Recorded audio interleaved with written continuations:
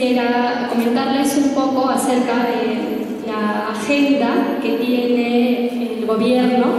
para la celebración de este bicentenario. La celebración está planteada para hacerse durante tres años con una programación de actividades que se inician eh, el día sábado con el lanzamiento, el festejo por esta fiesta que es la conmemoración de los 200 años de nuestra independencia y hay una serie de proyectos que están diseñados para implementarse en 2019, 2020 y 2021 y a partir del 2021 también la implementación de proyectos hasta el 2024. Entonces, eh, algunos proyectos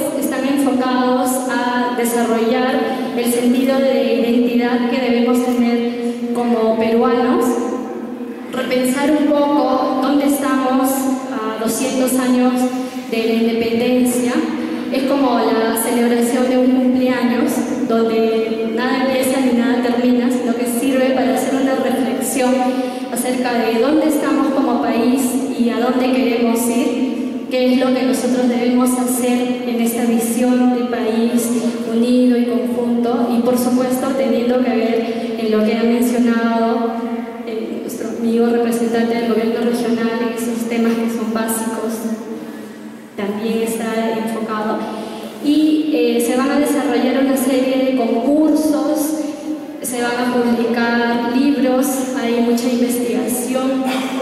relacionada al bicentenario ya que el Ministerio de Cultura ha conformado una, una oficina que está precisamente enfocada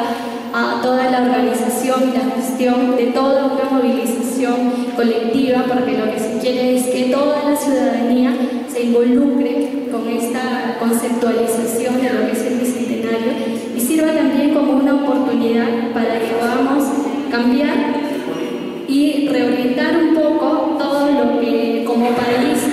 vez no nos deje llegar a donde nosotros quisiéramos.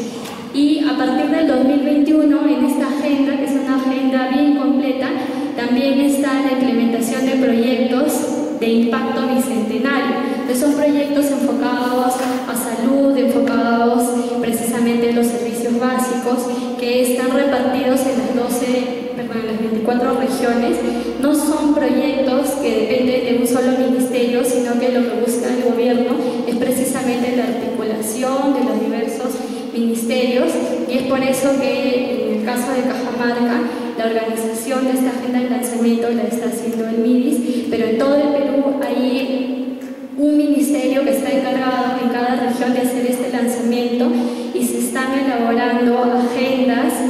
que juntas se articulan para lograr todos los impactos y todo el efecto que tiene el Bicentenario. Entonces, es, eh, el lanzamiento del día sábado es de una importancia trascendental porque lo que se quiere es contagiar este concepto que se ha diseñado para el, para el 2021 y empezar a trabajar, empezar a hacer esta conmemoración en conjunto con todos los aliados que están liderados por las instituciones públicas, pero que convocan a las instituciones privadas y cuyo principal enfoque es el trabajo con la, con la sociedad civil.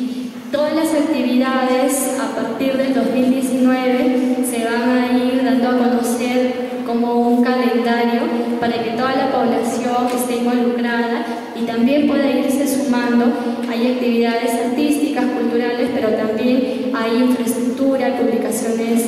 de libros, conversatorios y lo que se busca es una movilización ciudadana. Entonces, eso sería eh, la agenda del 2019, que sería hasta el 2024, que es lo que se, que es lo que se ha programado a partir de esta oficina de bicentenario y que viene siendo liderado por el propio presidente de la República, Martín Vizcarra.